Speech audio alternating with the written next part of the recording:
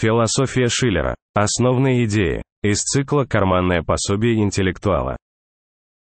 Фридрих Шиллер добавил много важных вещей в философию. Расскажем про основные. Концепция эстетического образования. Шиллер заявил, что красота искусства имеет силу возвышать дух человека и улучшать моральные качества.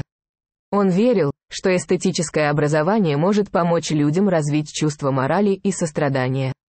Идея взаимосвязи игры и творчества. Шиллер предположил, что игривость и творчество являются неотъемлемыми составляющими человеческой жизни и позволяют нам уйти от ограничений мира и испытать свободу. Отношение свободы и морали. Шиллер исследовал связь между свободой и моралью и заявил, что поиск свободы является моральным долгом. Шиллер верил, что свобода – это не только право индивидуума, но и общественная ответственность. Роль эмоций в человеческой жизни. Шиллер признал важность эмоций в человеческой жизни и заявил, что они играют ключевую роль в формировании наших взглядов и действий. Он верил, что разум и эмоции должны быть в равной мере развиты, чтобы люди могли вести полноценную жизнь.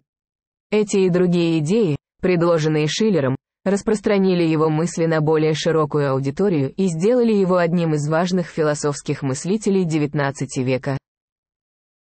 Прогулка под липами.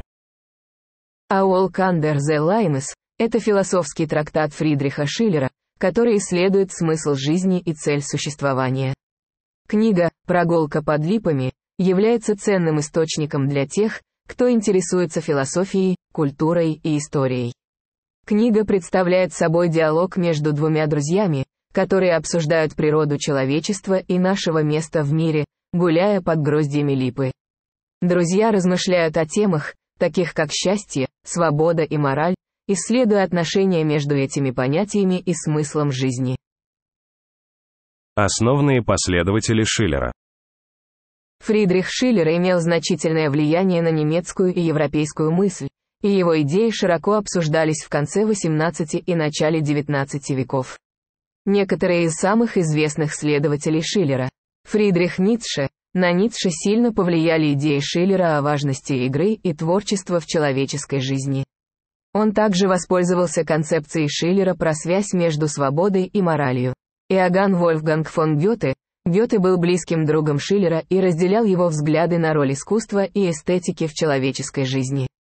Он также высказывал подобные идеи относительно связи между разумом и эмоциями. Иммануил Кант, Кант использовал идеи Шиллера об эстетике и роли красоты в формировании морального характера. Он также выражал подобные взгляды на важность свободы и морали. Георг Вильгельм Фридрих Гегель, на Гегеля повлияли идеи Шиллера относительно отношения между индивидуальностью и обществом, и он включил эти идеи в свою собственную философскую систему. Эти и другие мыслители были вдохновлены идеями Шиллера и помогли распространять его философию и влиять на будущее поколение мыслителей.